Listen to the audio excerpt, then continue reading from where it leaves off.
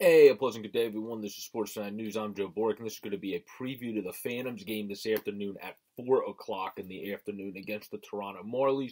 Been some traveling for a Phantoms up to Rochester, losing in the shootout last night. I'm going to recap of that game that I'll link at the end of this video. If you want to check that out, please subscribe also down below to keep the channel going and growing.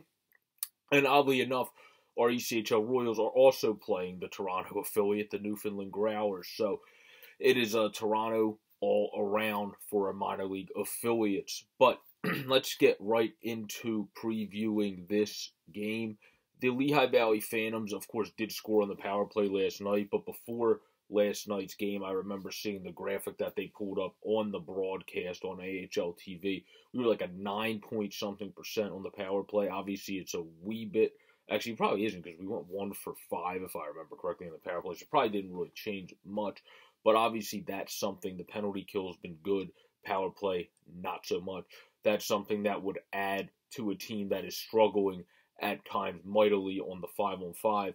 If you can actually get it going on the power play, that does a absolute um, wonders for your team to be able to kind of get some confidence going and build on something to be able to um, actually try to get some things going and momentum going on five and five, kind of like how the running game can get momentum going for your team as a whole in football. But when we preview these two games or two teams, obviously our Phantoms are 0-2 and 1 um, streak, and the Marlies have won their last two. They're also 6 and 3 in their last 10. Our Phantoms are 3, 4, and 2. So if they're able to win this one, they'll be at least at the 500 mark in regulation in the last, at that point, then 11 games, obviously. So that will at least be getting us somewhere. We had a good game in Rochester. They are a team exactly like their broadcaster said yesterday when playing their best, look like they could have the potential to be one of the better um, AHL teams, but then have the really off moments of time. Yesterday they didn't have that as much, and the Phantoms were able to stay in a game with them, and then just lost in what it turns into just being a breakaway competition at that point. Um, but the big thing for the Phantoms, but also the Marlies, both of these teams, that's why I'm surprised the goal differential for the Marlies is actually at one and not at a minus, is because they do take a lot of penalties too. They're already at 240 penalty minutes. Now, some of that is because they have some players that have no fear scrapping with people, just like we have Hodgson and other guys on our team, Saunier. But uh, we have 222 penalty minutes, so this is definitely a game that could result in definitely some penalty minutes and some power plays on both sides. Obviously, for the Phantoms, that would be key and pivotal. That's why I brought the power play earlier. I think that's going to be one of the biggest keys to being able to beat a very solid Toronto Marlies team that's 7 4 0 1 so far this season. You're going to have to be, if they're playing undisciplined, and get some penalties like they've been having at times this season. You're going to have to take advantage of those, unlike the Phantoms have done for the most part this season. In terms of points, 10 for the Phantoms, 15 for the Marlies. Goals for 37 for the Phantoms, 39 for the Marlies. Against 38 for the Marlies, to 11 higher for the Phantoms, 49. So it's also going to be interesting. I haven't seen anything on who's going to be the starting netminder today since the Phantoms do have back to back to back. Will veteran Pat Nagle get the chance? Who was killing it and absolutely kicking butt in the minors for the Royals? Or will they give it back to Felix Sandstrom, who obviously has been a very solid netminder for us? And yesterday, none of those goals. Goalies can allow four goal games and have none of them really potentially be on them. And that was really what happened in yesterday's game. The Rochester Americans scored a bunch of good goals yesterday, and that happens. Murray had good ones, Peterka had a good one, and of course, a breakaway goal um, is not going to be on the goaltender when you just let a guy get behind the defense.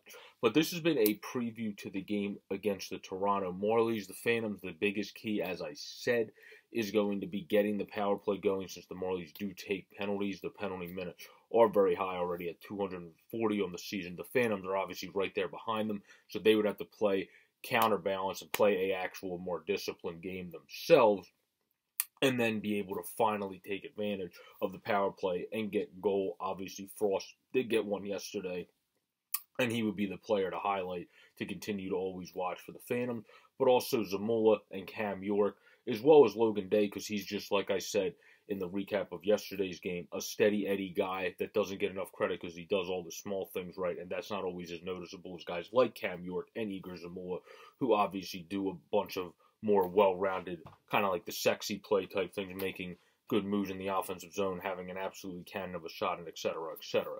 But when it comes to the Toronto Marlies, um, key pieces you're going to want to really look out for on their team are definitely going to be Anderson, also Abramov, um, and then I'm not even going to try to say his name, so I just call him Semyon, um, the little center that's a pesky center at 5'11, 161. Um, Semyon Dur, and then he has like he's always a hard to pronounce name, but watching him on AHL TV in some of their games, he definitely looks like one of those peskier, smaller guys. They also, of course, have former Phantom and Flyers product Curtis Gabriel, who is going to be back playing against the Phantom, so it'll be interesting to see how he does against his former team. So obviously that'll be a player to watch. And then Ho-Sang is a solid player as well. So those will be some people to watch. Obviously, a former player coming back is always a guy to watch. But again, key is going to be the power play in this game. And it is going to be the Phantoms playing pretty much. That's why I said that was good to take from yesterday's game playing kind of like how they did yesterday, where they never let anything phase them and they kept the push coming in the game. You're going to have to do that against this Marlies team, too. You can't let anything phase you, and you're going to have to just keep responding to whatever comes at you, just like they did against the Rochester Americans. That's easier said than done since there's been a decent bit of traveling for the Phantoms of late. But I think if the Phantoms can play similarly to they did yesterday, they could at least escape with again one point out of this game, getting to OT against a very good Marlies team. So peace out, everybody. Stay safe and go Phantoms.